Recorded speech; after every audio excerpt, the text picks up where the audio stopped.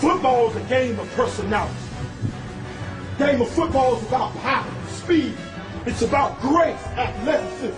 It's about knowledge and wit. It's about courage and toughness. It's about heart and determination. It's about character. It's about winning at home, winning on the road. It's about meaning.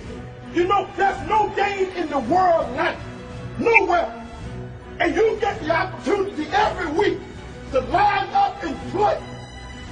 And more special than any week, you get a chance to line up for a title. That's what you get ready to do.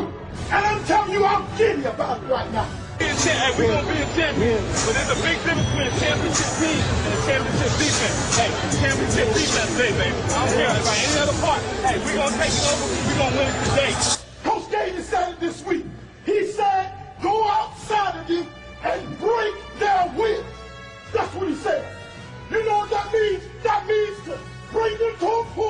Where they don't want to play no more. Where they get tired of lining up and start packing it in.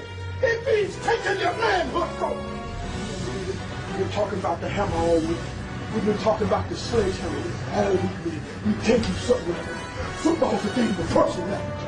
Football, this game today is about personality. And we decided to bring the personality of a sledgehammer. You know what the bottom line is?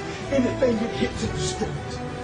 I don't care what it is. Anything it hits, it destroys. Personality. Personality. When we finish this game, we're gonna have a little fun. But this we gonna we ain't gonna wait on them. We gonna head, go ahead and get them now, Jesus. So let's ride till we die. Hey, GT on three, fellas. One, two, three.